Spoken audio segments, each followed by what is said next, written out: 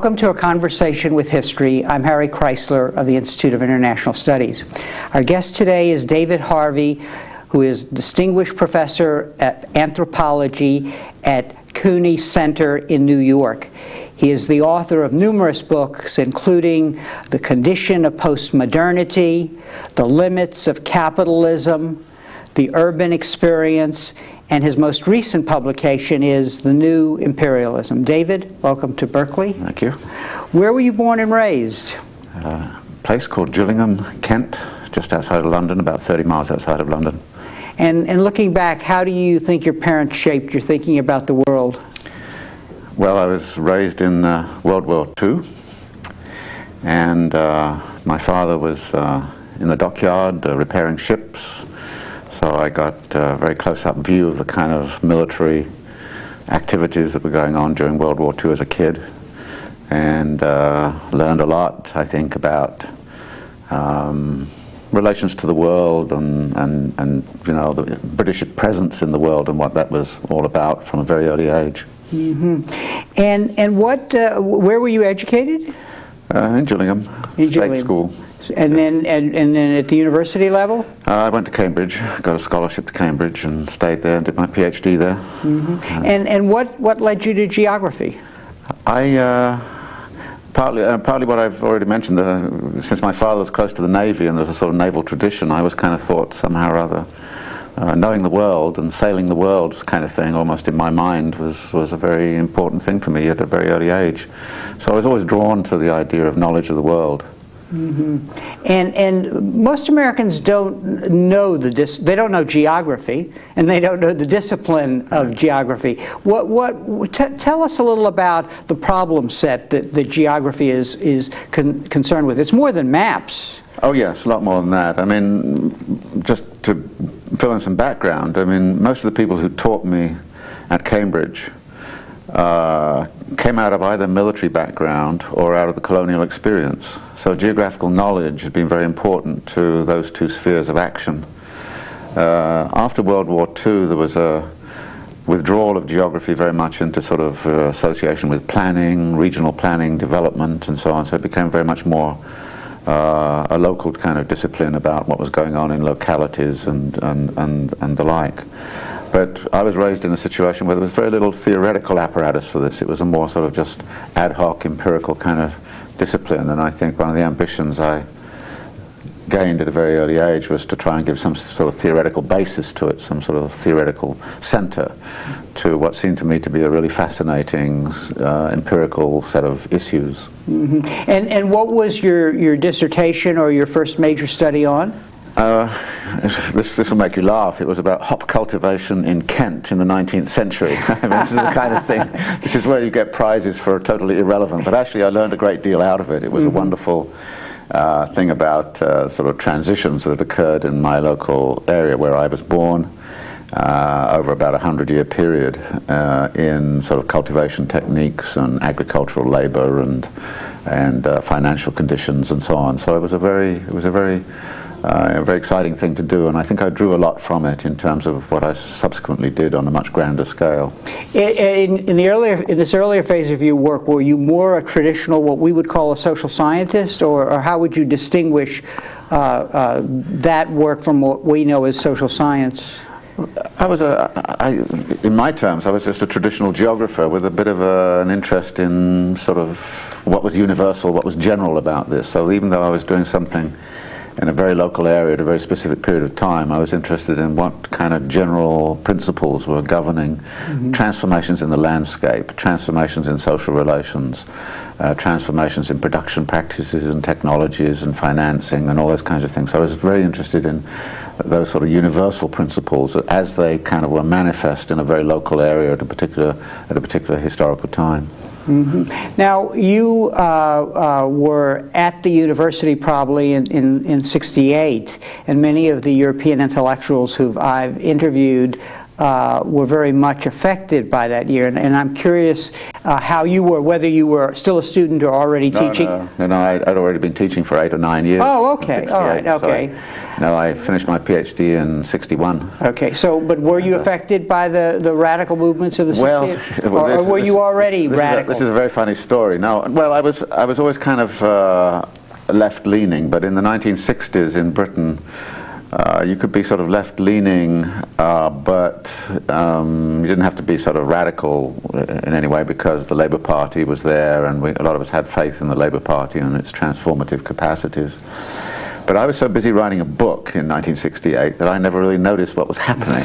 I confess this, you know. So, and, and, and I finished the manuscript uh, almost in May 68, mm -hmm. and I was so preoccupied with it that I, I, I, put the manuscript on the desk and I went to Australia and I got to Australia and everybody in Australia says, what the hell is happening? in Europe, uh, 68, I said, I had no idea, you know, I had been so involved in writing this book. So it didn't affect me that way. I think it affected me subsequently in terms of reflections on it. Mm -hmm. uh, uh, now, uh, another uh, part of uh, your profile, I guess, in a way, is a, uh, a, a uh, the influence of Marxist theory mm -hmm. on your work. And, and I'm, I, I want to talk about that dynamic between ge geography and Marxism. Before I do that, what, what led you uh, uh, to Marxism as a, as a system of analysis that you could uh, build on and, and add to and so on?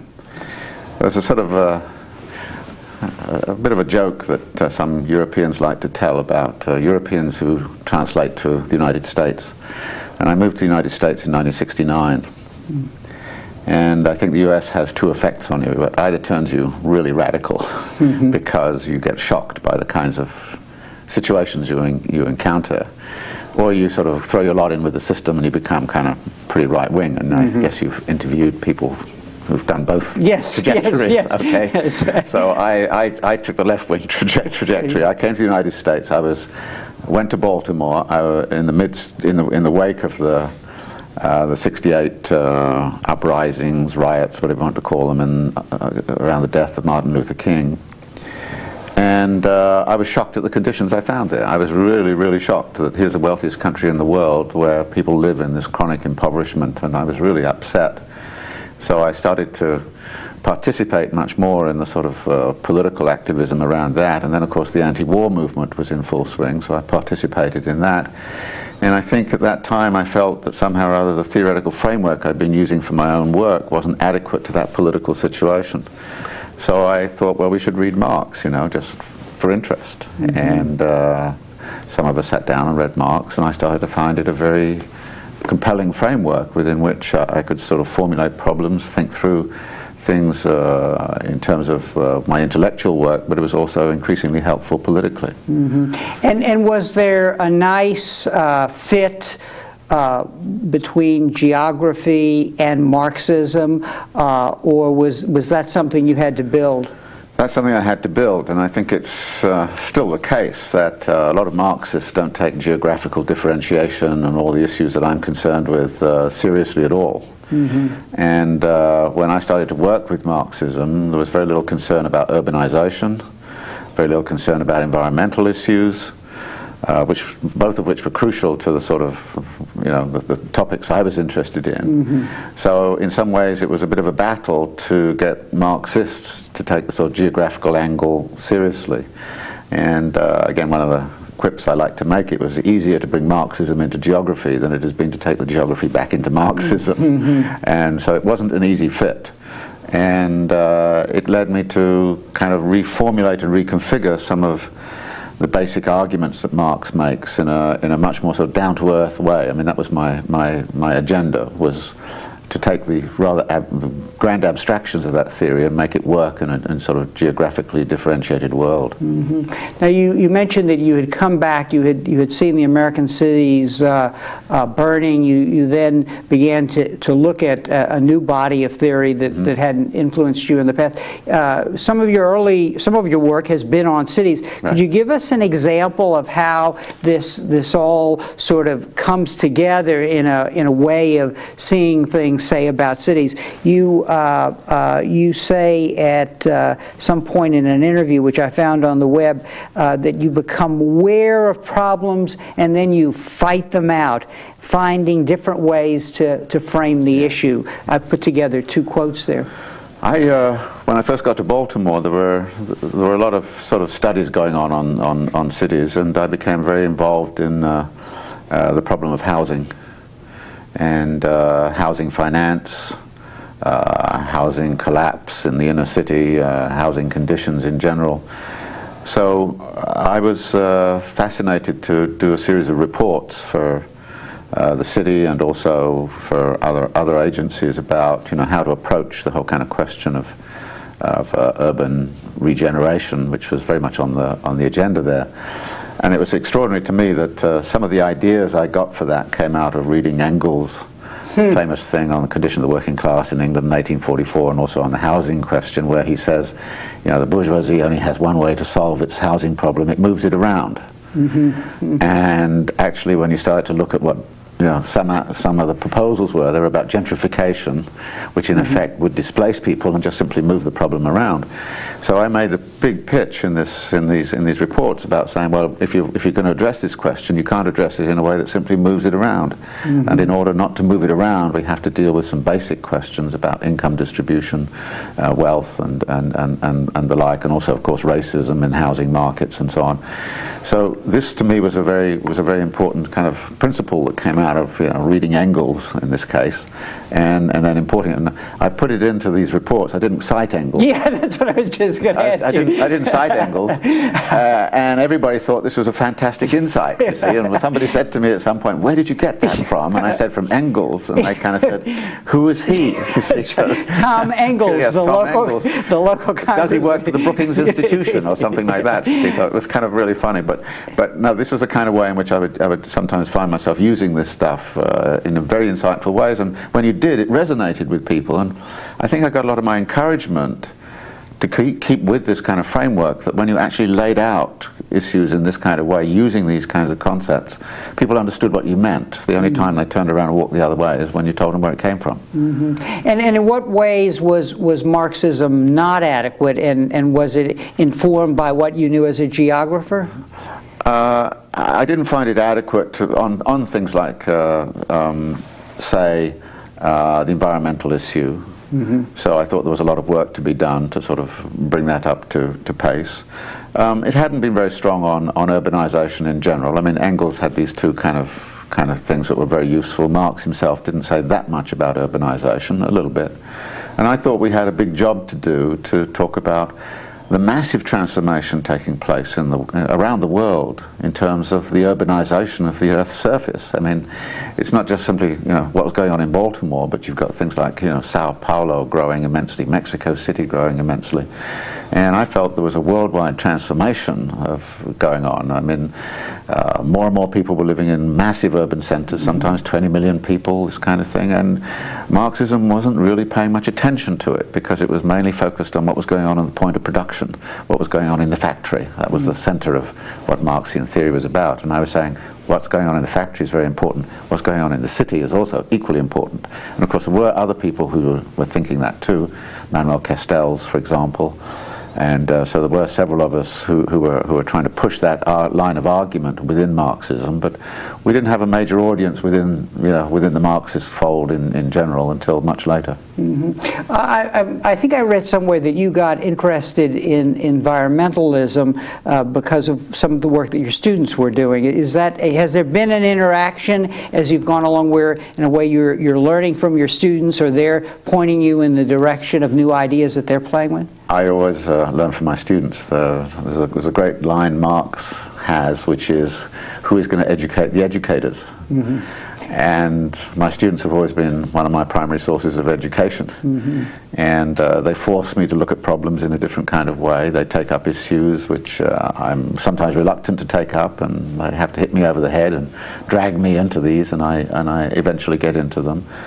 Uh, on the environmental issue, it wasn't uh, so much that it was uh, um, it was the, the, you know the Earth Day movement. It was more the sort of political movement that was going on uh, around at that time, which was uh, which was influencing me. But in in many other regards, uh, yes, indeed, my my students have always been a primary source of education. Not only graduate students, also undergraduates can sometimes mm. pose you with uh, compelling questions, which at some point or other you feel you have to address. Mm-hmm. Uh, talk a little about activism and uh, uh your involvement in activism, how that has impacted your research, or it's just be, being made aware of the activism as you just cited with, with Earth Day. It's it's a, a mixed thing. I mean, I'm I'm not a, I'm not an activist. I'm not an organizer. I'm I'm not uh, good at those things. It's not where my strengths lie. But I frequently try to work with movements uh, and to try to provide them with some sort of support,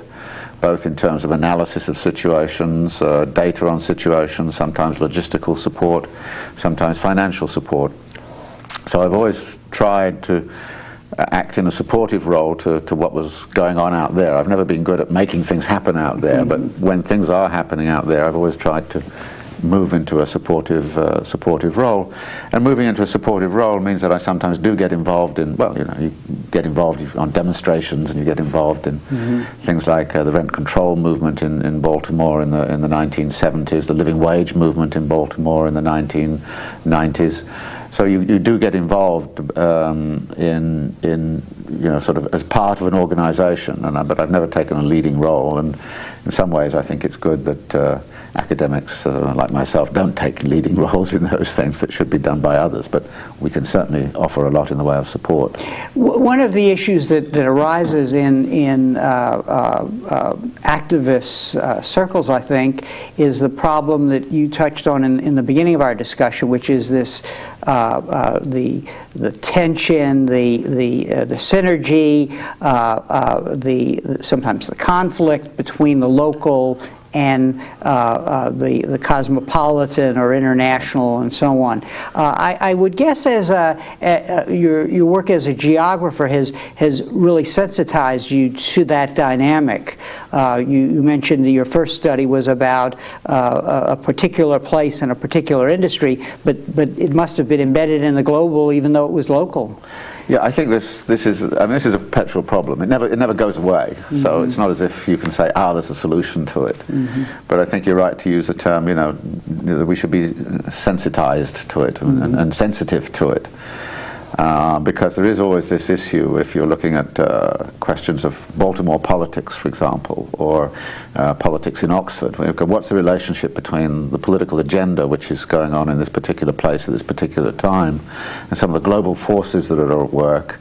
and some of the global issues which are being which are being put on the, the the agenda. So again, those are the kinds of things that it seems to me somebody like myself can draw some attention to in relationship to local action. At the same time, I'm almost always asking myself in the midst of local action, what is the universal significance of this? Will this, mm-hmm. how will this change the world in general? And there are situations where a local movement, and I think of, for example, the living wage movement, which originated in Baltimore, uh, then became much more widespread across the country. So here's a local initiative that somehow or other has a national resonance and even even an international resonance. And uh, so this seems to me to be part of uh, the way in which politics gets done. It's what I call a politics of militant particularism. You start with a militant idea in a particular place, and then it gets translated into into a much more sort of global uh, political political movement. And we see that with things like living wage movements, anti-sweatshop movements you know, and, and, and the environmental movement has, I think, uh, been very much full of that sort of activity where it's a local issue which then suddenly becomes much more global in its uh, scope. And, and what, is, what is the key element in seeing and making that link. I mean, obviously, with somebody with your background, you you, you come uh, to uh, a, a, local activism and see it right away. But what about the activists themselves? How how did what is that process like of, of making those linkages? It's it's hard. I mean, sometimes I mean this is one of the arguments I often have with local local activists is not to say, look, what you're doing is wrong. It's to say, look, you should mm. actually try to contextualize what you're doing in relationship to these, these, these other issues. And a lot of the time, however, they say, we can't do that. We're so concentrated on doing what we're doing here that we really don't have time or space to think about that. And I think that's a pity. Uh, and I have had you know lots of you know, arguments about that with mm. at the local uh, at the local level, and it's it's it's never easy. And there is of course a tendency right now uh, within, for example, the alternative globalization movement uh, to say well, all the solutions lie at the local level. We don't have to have a global kind of uh, trajectory in what we're doing. We just simply have to sort of say, do this at the local level, and then this is this is where the solution lies. And I think again, that's a for me that's a, a, a false hope. Uh, and uh, but nevertheless, I can I can see it as part of the politics right now. So it's something that I can only, all I can do is sort of debate it and discuss it and say, look, this is a problem. I think that we should be thinking about this in a rather different way. Before we talk about your new book, I, am intrigued by the, the fact that you went back to you went to Oxford as the Mackinder professor. Yeah. Uh, Mackinder was the great uh, geographer of empire. Geography yeah. was in the beginning uh, the the the handmaiden of empire, mm -hmm. but now uh, just listening to your intellectual odyssey, it, it's clear that geography over time can become something else, really, in terms of, of where it stands on political Well, it can be it can be a, a vital tool of anti-imperialist politics, yeah, for example, yeah. and it can it can you know. Uh, but also we have to look very closely at the nature of geographical relations. And so one of the things I did draw from Mackinder uh, is, uh, well, if you want, if you do have a political project of some kind, and his was very conservative and very imperial, nevertheless you need to know what's there and you need to have a good understanding of what's there, uh, both in terms of population dynamics and cultural forms and physical kind of environments and possibilities. But you have, a, have to have a good idea of what's there in order to work through what your politics is about. I mean, it's hopeless for me uh, to go into, say, Nicaragua and, and start to talk as if uh, this is Sweden mm -hmm. and that they should have a politics like Sweden. I, you know, this is not, this doesn't make sense. So what, what I'm, I would say is, well, if we are going to have an alternative globalization movement uh, to the sort of capitalistic, imperialistic forms, then we have to also pay great attention to what is there. Mm -hmm. And so the, the, geographical knowledge then becomes a significant part of uh, how political programs are formulated, but it's also a significant part of political power. Mm -hmm. Now, uh, your new book is The New Imperialism. Mm -hmm. And it, it, it seems to uh, uh, follow logically from your, your career. I'm sure this is a problem that you thought about over time, although I guess this is the, your first book on the topic. And it obviously relates to what's uh, going on in, in, in the world today. So, so what is your book is called the uh, uh, the uh, New Imperialism, and uh, what is new about the new imperialism? Well, that's one of the questions mm -hmm. that uh, I wanted to address. I want to ask that question. I'm not sure I found uh, the complete solution to it. I think I identified some things. But one of the one of the things I would point out here is that for a long time I've been actually been talking about the spatial or geographical dynamics of capital accumulation and what I call uneven geographical development. How uh, these molecular processes of capital flow moving from one part of the country to another build spaces, new spaces of, of geographical concentrations, even within countries, so that when you look at the United States, you say, well, 50 years ago it was the Northeast and the Midwest where the center of everything was, and then something happened, the capillary flow all went to the South and the West, and there's a changing dynamics of political power that come, come out of that. So I've always been interested in these geographical processes whereby capital is creating landscapes, sometimes knocking down landscapes uh, and building new landscapes. And so I've always been interested in that.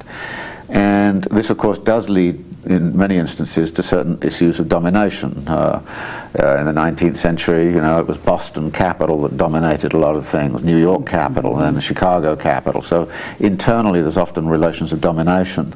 So when it came to thinking about, you know, imperialism in general, I wanted to locate the notion of imperialism against the background of those kinds of processes of, of, of, production of space by, by, by capital accumulation. So that's what I wanted to, to do.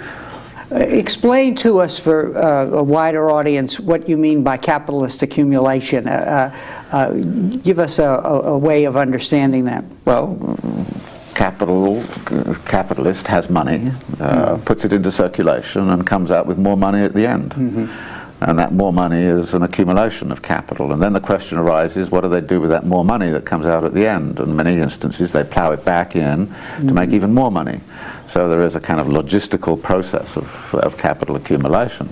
And sometimes they make money by other means, by takeovers and, you know, all, all sorts, of, all sorts of strategies for making more money. So, so the dynamic of our society, uh, capitalist society, is really powered by the push always to accumulate capital, to make a profit. And profit means the system has to expand because there has to be more at the end of the, the year than there was at the beginning. So we end up with the notion that, for example, growth is a, is a significant indicator of the health of the system. A capitalist system must grow or bust. And it is that growth which is which I am talking about as capital accumulation. It's the growth of capital. Mm -hmm. You you you say that uh, in your book that it's important uh, to distinguish between territorial and capitalist logic of power, and in a way, that's what you've just talked about, really. The, the interface, uh, the synthesis, the interaction uh, between a, a, logic that uh, expands the space mm -hmm. on the one hand, and the other the, the, uh, the need of capitalism uh, to find new, new places uh, to make profit and so right. on. This, this, this operates, I mean, one of the ways I've looked at it is to look at this not simply at the nation state level, look at it at the area of, uh, say, uh, a mayor of a city like Baltimore. Um, deindustrialization is going on, capital is moving out so what does the mayor do in charge of this territory? Kind of say, oh, okay, that's okay, or do they say, we have to find new ways to bring new capital in? Mm -hmm. So, so, so the territorial logic is about trying to maintain the health and well-being of a particular space in the face of this capillary movement of capital moving left, right, and center and everywhere. And if uh, the steel industry is collapsing and the shipbuilding is collapsing, then what, what does the, somebody who's in charge of the territorial logic do? And then you see, well, they say, oh, maybe it's convention centers and the convention business, and maybe it's uh, museums, maybe it's tourism or something of that kind. So, mm -hmm. so the territorial logic is very much about trying to maintain the, the health and well-being of a particular place and space within within this this this motion, which is very hard for anybody to control because you know capitalists decide they're going to take their money from here and put it there. You can't really stop them unless you've got sort of strong regulatory controls, which by and large have disappeared, of course. You, you have another concept which I want you to explain to us, uh, which is uh, central to your argument, and it's, uh, it's uh, the distinction between accumulation by expanded reproduction and that uh, by primitive accumulation. And, and you call primitive accumulation accumulation by dispossession. Yes. Uh, help us understand those terms. Accumulation by dispossession is really about dispossessing somebody of their assets or their rights. Uh, and there have traditionally been some rights which have been sort of uh, common property. And so one of the ways in which you take these away is, is by privatizing them. So we've seen moves in the recent years to privatize water, and traditionally everybody was, had access to water, then it gets privatized, and then you have to pay for it. Uh, we've seen the privatization of a lot of education going on by the defunding of the, the, public sector, and so more and more people have to turn to the private sector. We've seen the same thing in healthcare. So, so what, what, what it seems to me is that what we're talking about here is the taking away of universal rights uh, and the privatization of them, so it's your particular responsibility rather than the responsibility of uh, the state. And one of the proposals which we now have is, of course, the privatization of Social Security. Social Security may not be that generous, but it's universal and everybody has, mm. has part of it. And what we went now saying is, well, that shouldn't be, it should be privatized. Which of course means that people will then have to invest in their own pension funds, which means more money goes to Wall Street and, you know, so this is what I call privatization by dispossession in, in our particular circumstance. But then a lot of other things are going on. For instance, uh, when you start to look at the way in which people's lands have been taken away, peasant movements are being sort of destroyed by, by state action. So there's a lot of things of that sort which are, which are happening around the world where people are accumulating at other people's expense. Mm -hmm. And a good example of this would be uh, the oil companies in places like Nigeria, for example, where uh, the company comes in and, and displaces land mm -hmm. and, and uh, creates all sorts of uh, uh, uh, conditions that, right. that really destroy a way of life. Yes, no, that's, that's, that's, that's right. I think the other thing is look at the way in which U.S. subsidized agriculture is destroying rural life in Mexico since the Mexicans took away all of the protections of collective ownership uh, in peasant societies and privatized the land. So here you have again another situation where a way of life is destroyed uh, by a particular kind of economic and political process. When, when, we're talking about empire or imperialism, we're talking about the United States. Mm -hmm. And, and what, what is the, the, the particular evolution of capitalism in the United States that, that we should understand to understand uh, the pro processes and work as, as we, we, we, we have, the, our global role has taken a new form. You spoke yesterday in your lecture of, of the financialization of American capitalism. Talk a little about that. I think the switch into sort of uh, financial domination of the world, which occurred in the sort of 1970s, uh, was a specific move which was taken within the United States to enhance finance capitalism against manufacturing and productive capitalism. So manufacturing and productive capitalism has largely been pushed out of the United States. Mm. I mean, not, not entirely, obviously, but much of it has moved to East and Southeast Asia, and uh, of course, quite a bit is in Europe as well, so that the United States is no longer a dominant player in the world of production. Uh, but it took the view that, well, that didn't matter, provided it always had the financial power and it used the financial power to its advantage during the 1980s and 1990s in particular and assembled a great deal of wealth here out of this particular financial financialization strategy. What we now see is that's coming to an end. I mean, the internal budget deficit of the United States, the current account deficit of the United States is making the US into a chronic debtor country. And if you're a debtor country, you're vulnerable to those who hold your debt. And this is, a, I think, a real threat uh, to American hegemony, American domination. Mm -hmm. And and how then, uh, in in this situation of vulnerability, do we account for uh, uh or, or uh, do we account for the new emphasis on territoriality? Because because the in a way the neoconservatives are really uh, leading the show right now, or appearing to lead the show, uh, based, uh, it, driven in a way by what you would call the territorial logic. Mm -hmm. Now, as leaders of the state, in a, they are in a different situation than the mayor of Baltimore, who you were yes, just talking yes. about. What are those differences and why their newfound importance? Is it, is it a measure of America's weakness that you just talked about? Uh, this is a, the big mystery the question in a way, uh, and I think we can only make informed guesses about it. My, my informed guess is that, first off, that this switch uh, in the way in which uh, the US is approaching the world into a much more territorial kind of vision by, the, in effect, the occupation of, of Iraq. Uh, this is a great departure in US political political history. It's a, it's, it's, a, it's a new kind of imperialist practice which uh, the US has not really followed uh, for a hundred years or, or, so. It takes us back to the McKinley period and what happened at the end of the 19th century. Um, so there's a big issue as to why, why, you know, why that switch into, into a territorial thing, and then also why this switch into militarization. And, and here too, it seems to me we have a, uh, not exactly an entirely new thing because U.S. military power has always been a significant aspect of U.S. imperialist practices, but to, to make it explicit in this kind of way.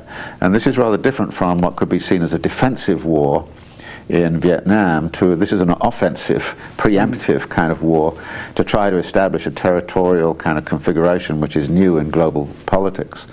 So I think this is this is something which is which is which is distinctively new.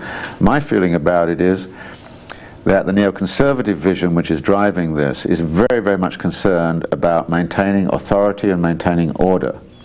And it hasn't got the leverage it once had through financial mechanisms or through productive capacity or even through cultural persuasion that it once had. The only leverage it's got left is indeed the mm. military one. And the military one, of course, is not very good at fighting diffuse forces. It's, the military one is or has always been about territorial logic. So the turn to militarization brings you back into the territorial, territorial aggrandizement kind of, kind of move. I don't think this is consistent with US American uh, imperialist practices, and I'm not sure it's going to last. It may, in fact, be something that just sort of they, they try and then, then it's going to be found wanting. And I think in some ways the Iraq venture is already a, a failure.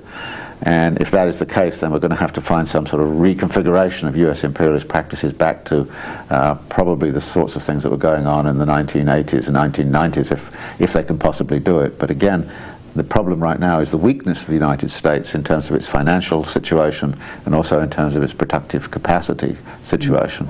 You, you make, uh, uh, you emphasize also the, the importance of the dynamic between the inner logic and the external logic. Right. That, that, that also relates to what you're saying here. I think the internal situation in the United States has a very important role to play in, in how you know things happen on the outside, and, and conversely, what happens on the outside feeds back into the United States.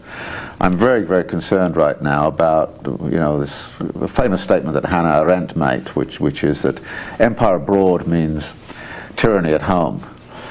Uh, and I think we're seeing the militarization of action abroad, but I think we're also seeing an attempt to militarize US society at home. I thought that uh, it was a wonderful moment when Bush uh, was introducing the Attorney General uh, Ashcroft, and he said, uh, He's a general. I wonder why we call him a general. Well, I guess it's because we're all in the military now. Mm-hmm.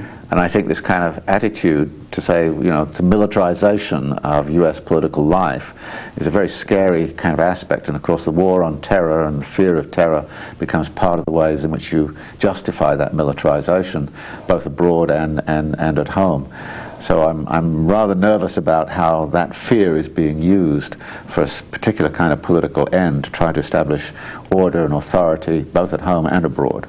I, am curious uh, what your thoughts are about uh, the role of technology in all of this, because as you pointed out, uh, we've the, the, country has failed uh, in, uh, in, in some ways in integrating technology into production that's actually located here.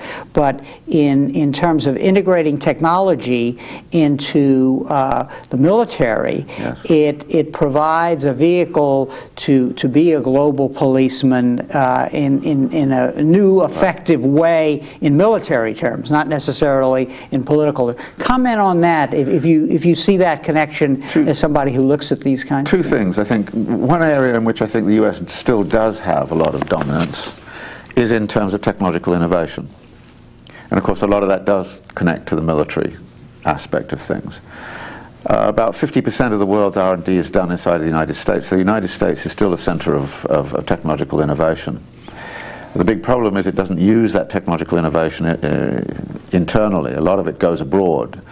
Uh, the Japanese and the Chinese and the you know people in Singapore are very adept at taking U.S. technologies, paying royalties for it, uh, but then using them for their own own specific uh, production systems. So that that technological advantage uh, doesn't necessarily remain within the United States, except that there's a flow of rents into the United States, paying you know for licenses and fees and so on.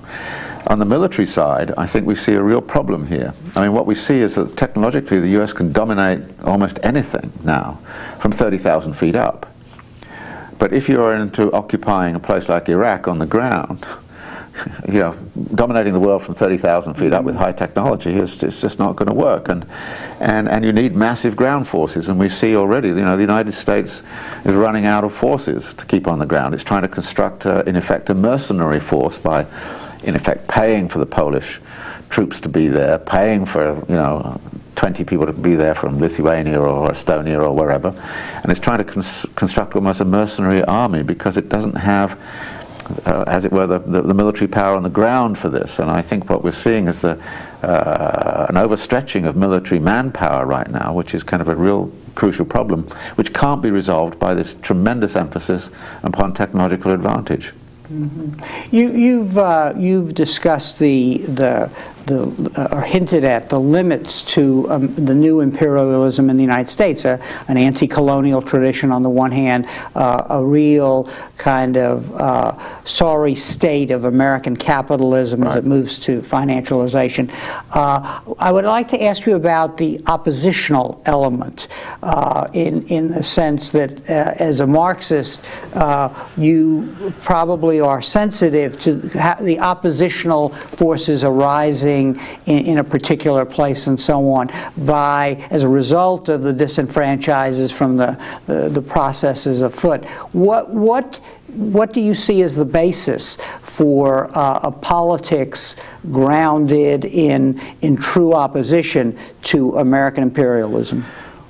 There are uh, several ways in which you can configure the opposition, um, and these aren't necessarily the ones that I, I would favor. Mm. Uh, there's a lot of nationalist opposition around the world to US global domination.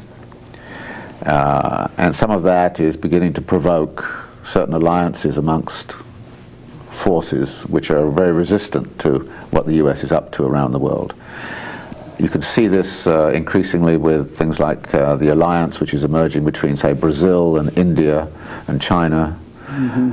And, uh, and, and Russia, which is becoming quite nationalist as well. So what, what we're seeing is a, is a, is a zone of resistance uh, to, to, to what the U.S. is trying to do globally which I don't think is progressive at all. I think in many ways it's regressive and I think it's dangerous, but nevertheless it is a, it is a very strong um, uh, force of opposition. I mean, an, an, alliance between, say, Russia, China, India, and Brazil against the United States or against Europe seems to me to be quite a sort of fierce uh, global kind of uh, battle, mm -hmm. which I would not like to see unfold, but I think it's, it's, it's there. Then there are uh, many other forms of, uh, of, of opposition uh, at a much more local level. Um, there is one kind of wing of uh, the anti-globalization, alternative globalization, which I've already mentioned, which is, says all the solutions lie at the local level and uh, they are kind of trying to construct their own local solutions. In some cases, this can be very, I think, uh, very helpful in the sense that a local solution can spill out and become general uh, if, if people find a way to make something work in a particular place in a particular way. So there's a lot of experimentation at that, at that uh, kind of level.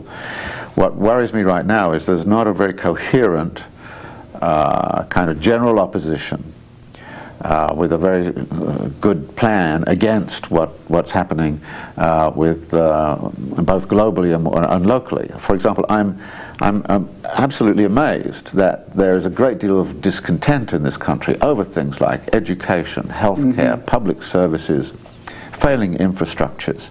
And yet there's no political movement which is articulating those mm -hmm. ideas and kind of saying this has to be part of a new progressive politics in this country.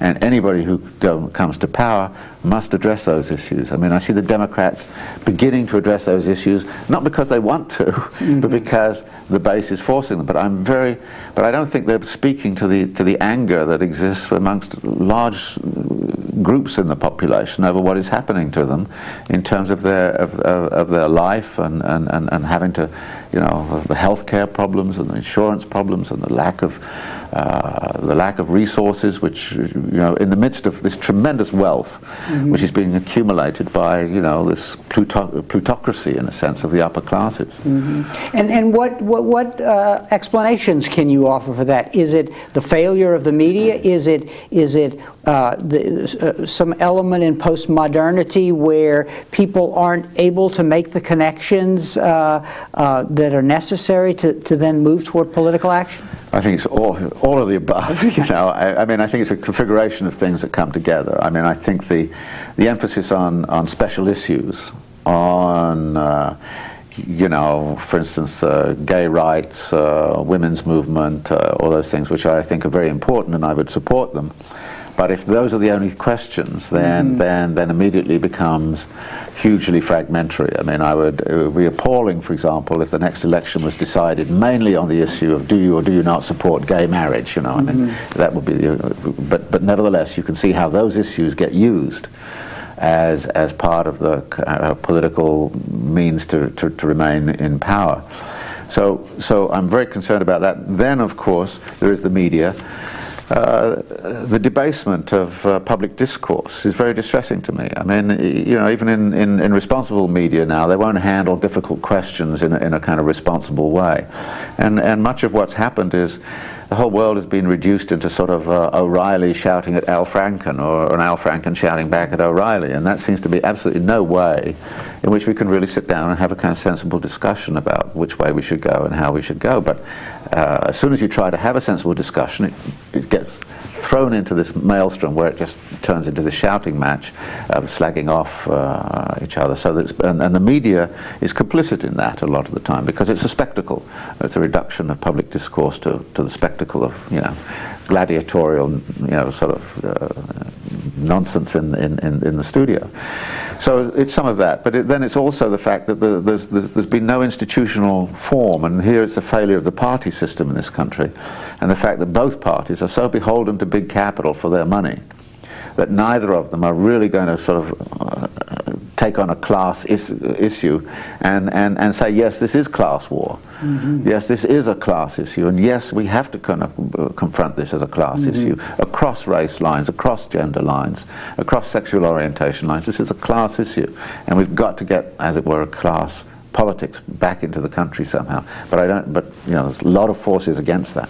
Mm-hmm. Uh, I'd like you to comment on the role of the Blair government and uh, your your uh, country of origin yeah. Uh, with regard uh, to the new imperialism, because uh, Blair's labor government really became an instrument to further U.S. goals. How do you account for that, and, and what does it mean? It has a long has a long history. I think it goes back to Suez in 1956 uh, when the British went on their own and the US rapped them over the knuckles and said, uh, get out of there, uh, get out of Egypt. Uh, and after that, the British tied themselves very much to US foreign policy and they've been very reluctant ever to go against US foreign policy. So there's been that long-standing tie. In addition, remember, uh, the British and the Americans were patrolling Iraq in the air jointly during the 1990s uh, and maintaining the, the uh, free fly zone. And, and so Britain was heavily involved in the Iraq thing all the way through the Clinton years. And when Bush came to power and took this, uh, the, the British had a difficult choice. You know, see, it's one thing for France to say they won't join in an action. It would be very difficult for Britain to say we are not we're going to get out of an action. Mm -hmm. And I think the British knew also that Bush is a very vindictive politician, and you desert him, and you're you're in trouble. And there are a lot of things that the U.S. could have created where they could have created real trouble uh, for the British, particularly in Northern Ireland. Mm. Interestingly, I think mm. that, uh, that, and I think actually one of the reasons why Aznar in Spain went in and joined in this whole thing had to do with getting ETA declared as a terrorist organization by the United States. So the United States was in a position to create trouble for those governments in some ways, mm. and Britain didn't want that. But in addition, I think that Blair, in his messianic way, really believes in a different kind of imperialist practice to the United States.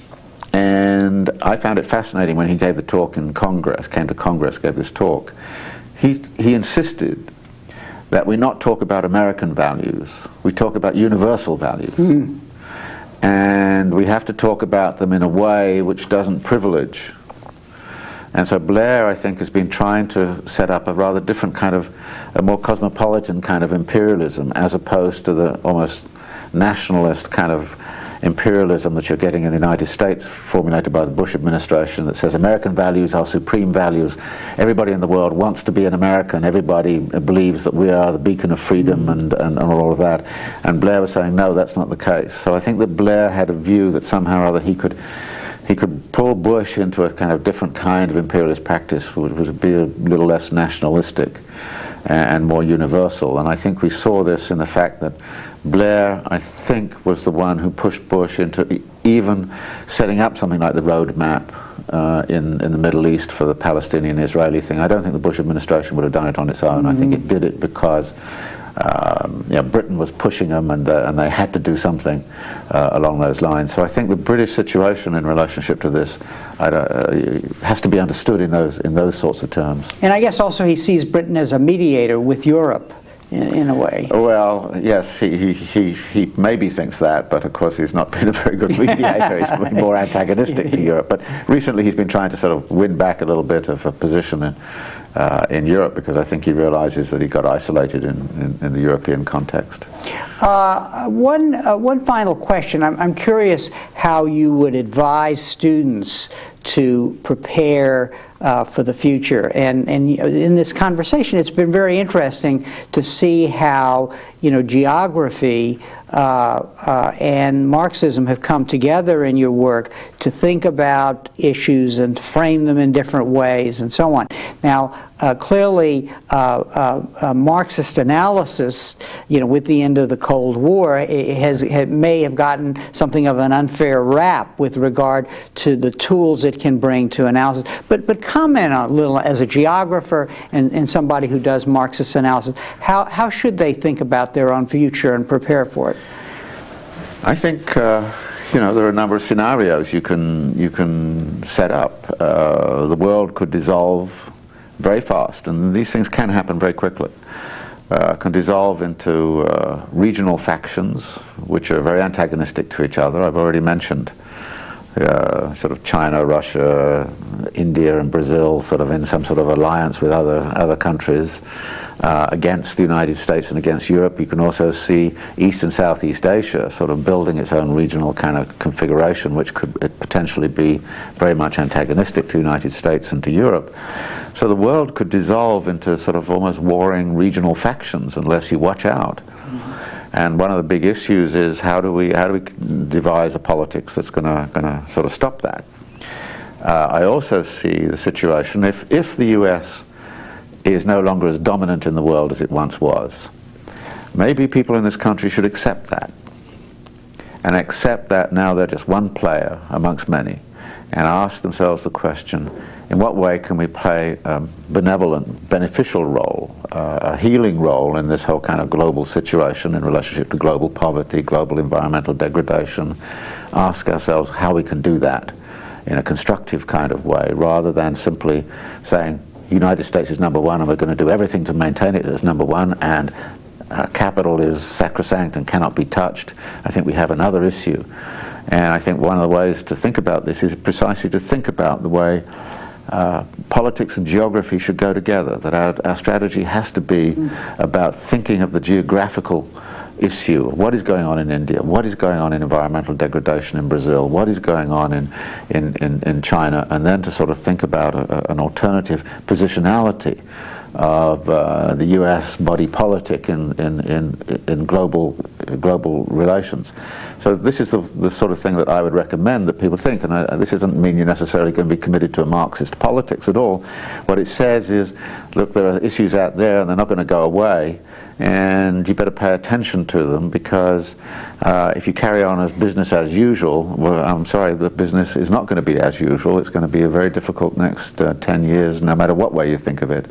And the U.S., what the U.S. does is rather crucial because it can either engage in catastrophic actions or it, or it can engage in sort of constructive actions. And, uh, you know, there's a long history of thinking in Marxism about the notion of creative destruction, mm -hmm. that in order to, to, create something you have to destroy something. Well, the US uh, can be very good at destroying things. The big question is what is it going to create and how is it going to create it and, and, and, and who is it going to create it with? Because it can't just simply create the world in its own image anymore. That is gone, I think. David, on that note uh, about the future and, and, the, and the way to avoid the pitfalls of the future that we might create ourselves unintentionally. Thank you very much well, for, uh, for joining us today uh, and sharing with us this, this fascinating intellectual odyssey. Thank, thank you. you. Thank you. And thank you very much for joining us for this conversation with history. Thank you.